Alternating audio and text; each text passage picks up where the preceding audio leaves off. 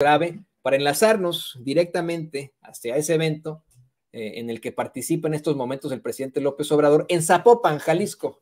Vamos con cámaras y micrófonos hasta Zapopan, Jalisco. Constitucionalista. Cabe resaltar que previamente, en 1912, el presidente Francisco I. Madero, comprendiendo la importancia que representaba el empleo de aeronaves, en una propuesta visionaria e innovadora, convocó a jóvenes mexicanos sobresalientes para especializarlos como pilotos aviadores de la Fuerza Armada Permanente. Entre estos jóvenes destacan los cinco pioneros de la aviación militar mexicana, Gustavo Adolfo Salinas Camiña, Horacio Ruiz Gaviño, los hermanos Juan Pablo y Eduardo Aldazoro Suárez, así como Alberto Leopoldo Salinas Carranza. Este último causó alta como subteniente de caballería el 12 de mayo de 1912 y es considerado como el fundador de lo que hoy es la Fuerza Aérea Mexicana, al haber sido designado por el presidente de la República como el primer jefe del arma de aviación militar y posteriormente es distinguido como el primer director de la Escuela Nacional de Aviación, que fue inaugurada oficialmente el 15 de noviembre de 1915 por el presidente Venustiano Carranza. De esta naciente escuela egresaron muchos oficiales de las armas del ejército, pioneros de la aeronáutica que combatieron en las filas revolucionarias, como el teniente piloto aviador Samuel Carlos Rojas Razo, quien hace 105 años obtuvo el título número uno de piloto aviador militar y siendo general brigadier desempeñó el honroso cargo de director del heroico Colegio Militar, emblemático e insigne plantel que este año celebra dos siglos de ser una institución fundamental y esencial para el desarrollo y evolución de las Fuerzas Armadas Mexicanas.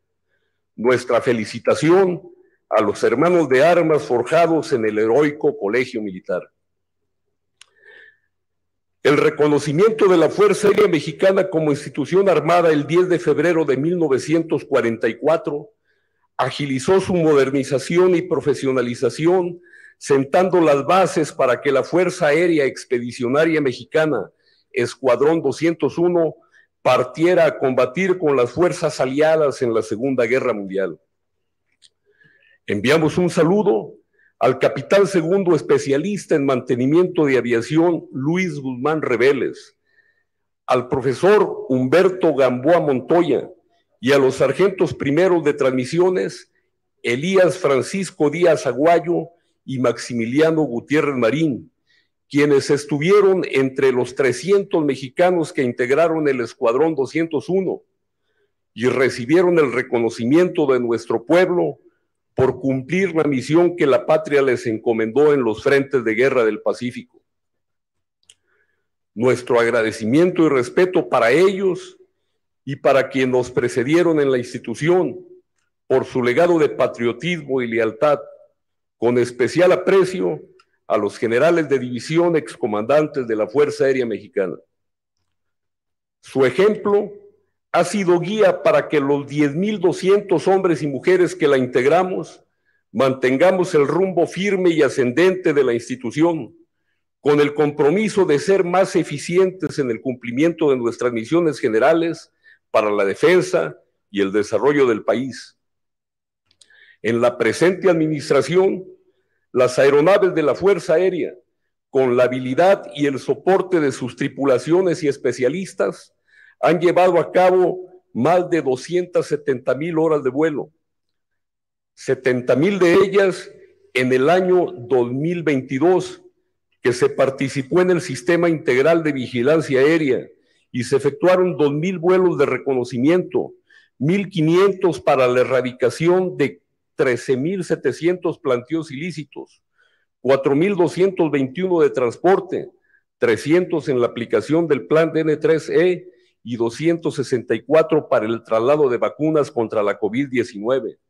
643 para extinción de incendios forestales en siete entidades federativas y 66 para la estimulación de lluvias en tres estados. En el ámbito internacional,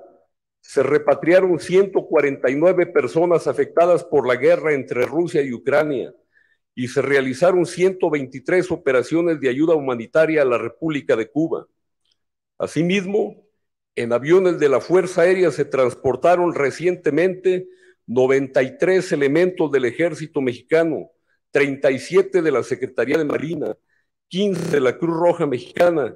y 5 de la Secretaría de Relaciones Exteriores, quienes están realizando actividades de ayuda humanitaria con motivo del sismo en la República de Turquía.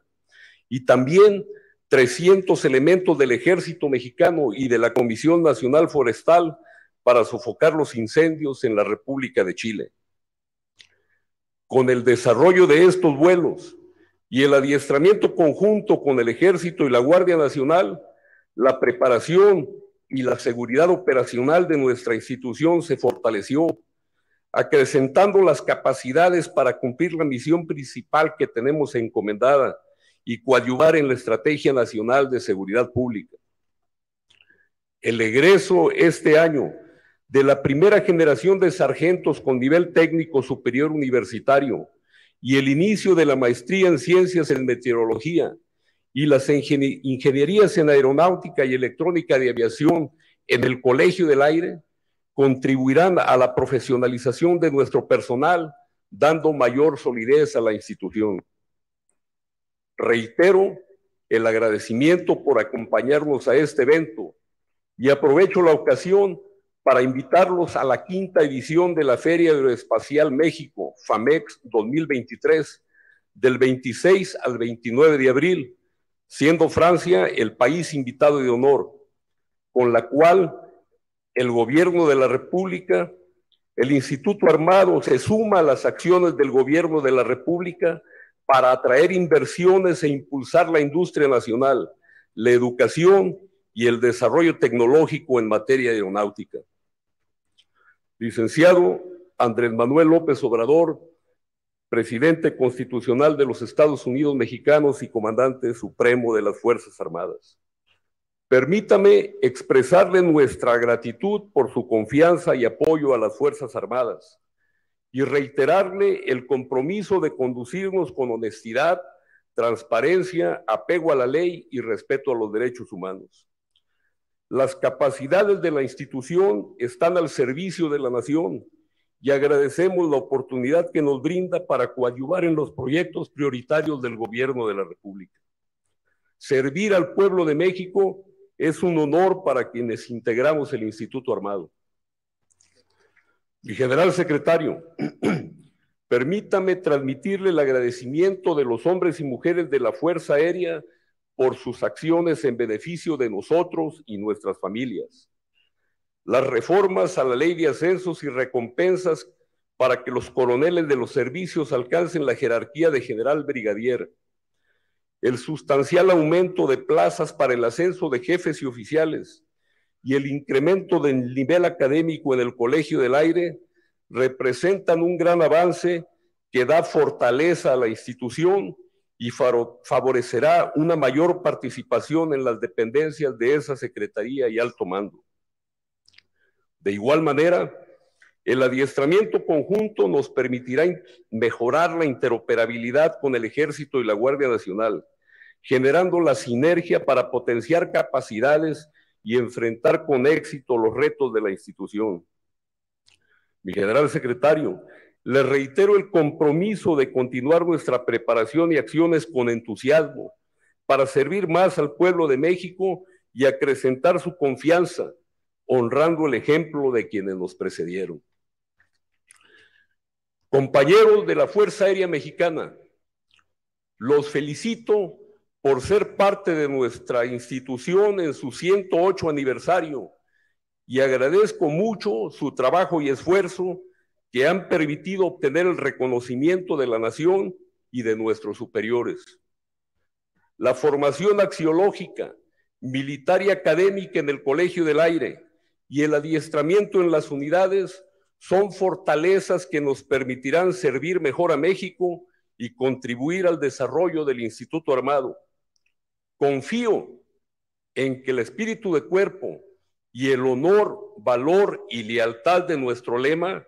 estarán presentes en todas nuestras acciones para que seamos ciudadanos ejemplares, militares excepcionales y excelentes profesionales de la aviación, sin que nada ni nadie nos aparte de la senda correcta. Esto será el sustento de una Fuerza Aérea disciplinada y vigorosa, con gran capacidad operativa, que hará frente con éxito a los retos que surjan en el segundo siglo de su existencia, para contribuir a satisfacer las aspiraciones y demandas de seguridad y bienestar de la sociedad. Sociedad de donde provenimos y a la cual estamos obligados a servir y rendir cuentas para hacer más sólida la confianza recíproca y la unión con sus Fuerzas Armadas. Muchas gracias. Bueno, tiene usted, es el eh, comandante de la Fuerza Aérea, el general piloto aviador José Gerardo Vega Rivera, dando este mensaje hoy en el Día de la Fuerza Aérea Mexicana. Vamos a esperar a que también el presidente López Obrador en cualquier momento esté dedicando un mensaje sobre este día que es sumamente importante. Ahí vemos en pantalla cómo es que hace entrega de reconocimientos y eh, pues se lo tiene una placa precisamente sobre este, el Día de la Fuerza Aérea Mexicana, eh, que celebran junto con el presidente López Obrador, su gabinete de seguridad, eh, ahí en Zapopan, Jalisco, como se hace cada año. Y pues bueno, nosotros seguiremos muy, muy pendientes de este evento que es muy, muy importante, muy, muy importante. Eh, por supuesto, que tengamos ahí. Vamos a esperar a que, a que comience a hablar el presidente López Obrador. Pero antes de cualquier cosa, le pido al equipo que por favor nos grabe, porque el tema